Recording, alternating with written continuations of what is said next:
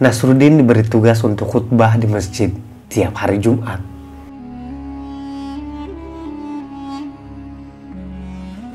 Baginya, tugas ini terlalu berat dan dia selalu mencari cara untuk tidak usah khutbah setiap Jumat.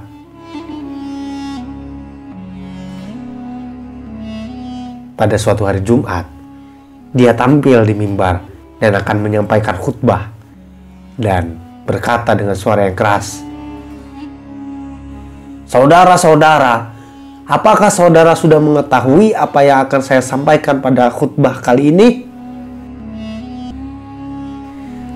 Para jamaah tentu terkejut dan menjawab, "Belum, kami belum tahu." Dengan tenang, Nasruddin berkata, "Wah, kalau saudara belum tahu apa-apa mengenai hal yang begini penting, saya kira akan membuang-buang waktu saja bagi saya untuk bicara hal ini. Sehabis bicara itu, Nasruddin turun dari mimbar dan tidak jadi memberi khutbah. Hari Jumat berikutnya, ia tampil lagi di mimbar dan menyodorkan pertanyaan yang sama seperti pekan sebelumnya. Apakah saudara-saudara tahu mengenai hal yang akan saya bicarakan hari ini? Kali ini para jemaah berpikir dan mereka ingat apa yang terjadi seminggu sebelumnya.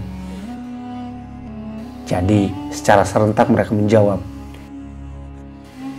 "Kami sudah tahu." Nasruddin pun berkata kepada mereka, "Lah, kalau semua sudah tahu, apa yang akan saya sampaikan?" Saya kira membuang-buang waktu saja kalau saya memberi khutbah di sini sekarang.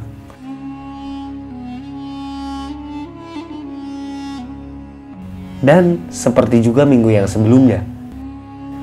Kemudian ia turun mimbar tanpa memberikan khutbah.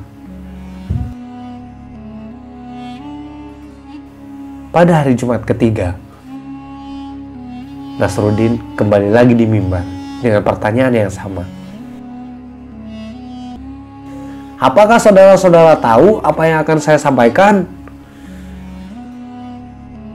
Kali ini para jamaah agak bingung. Ada yang menjawab ya, dan ada yang menjawab tidak. Baiklah, kata Nasruddin.